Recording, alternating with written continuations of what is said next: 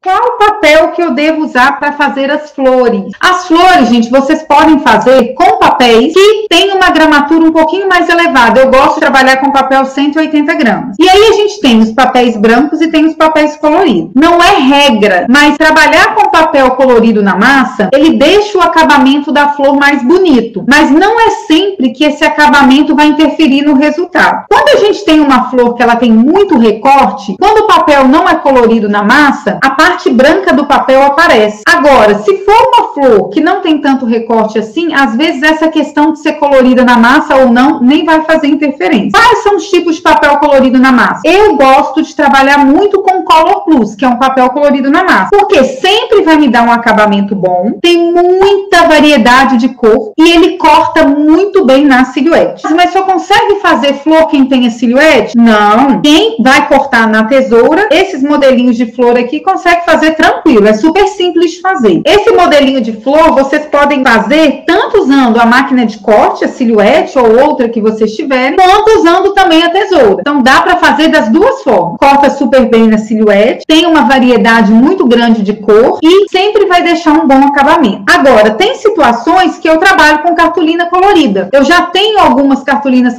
coloridas em casa e quando eu vejo que o fato de não ser colorido na massa não vai interferir no resultado, eu trabalho. Por exemplo, para fazer tanto a florzinha roxa quanto para fazer a florzinha pink, eu usei esse papel aqui, ó, Philip Paper, ó. Mas quando eu comparo o preço desse com Color Plus, acaba saindo muito parecido o valor. Então eu prefiro o Color Plus, porque eu sei que o acabamento vai ser melhor.